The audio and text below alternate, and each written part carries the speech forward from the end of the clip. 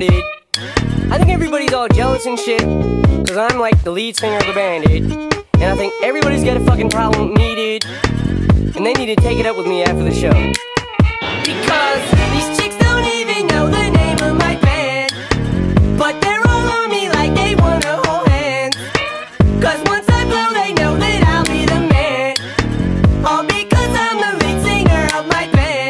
So I get off stage, right? Drop the mic, walk up to these hot chicks, and I'm all like, What's up, ladies? My name's Slim Shady. I'm the lead singer of D12, baby. They're all like, Oh my god, it's him! Becky, oh my fucking god, it's him! I swear to fucking god, dude, you fucking rock.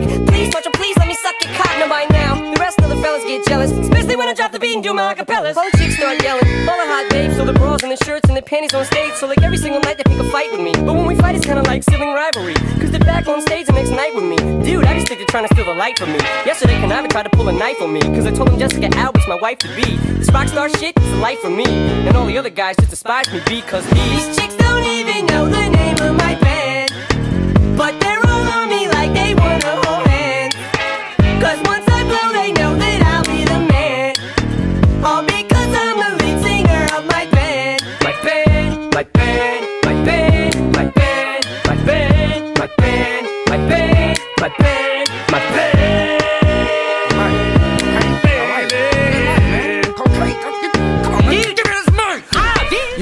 see a nigga backwards, don't you? Hey, Dad, how come we don't rap our Pro Tools? Smash these vocals and do a performance, but we in a van and he in a tour bus. You know I'm a autograph, you's a liar. And no, I'm swift. Oh, I thought you were Kuniva. What the hell is wrong with that dressing room? Cause our shit is looking smaller than a decimal. See, I know how to rap. Uh-huh. It's simple, but all I did was read a Russell Simmons book. So I'm more intact, trying to get on the map, doing jumping jacks while getting whipped on my back. Look at them little punk ass thinking he the shit. Yeah, I know, man. By himself taking on a flicks. Hey, I thought we had an interview with DJ Clue. No, I had an interview, not you two. You gonna be late for sound Man, I ain't going to sound When our check. mics is screwed And up. his always sound best. You know what, man? I'm gonna say something. Hey, yo, M. You got something to say? man, I thought you was about to tell him off, man. What's up? Man, I'm gonna tell him what I feel like, and man, shut up. You ain't even back me up. We supposed to be cool. Man, I was about to talk right after you. I Oh, swear. man, I swear, man.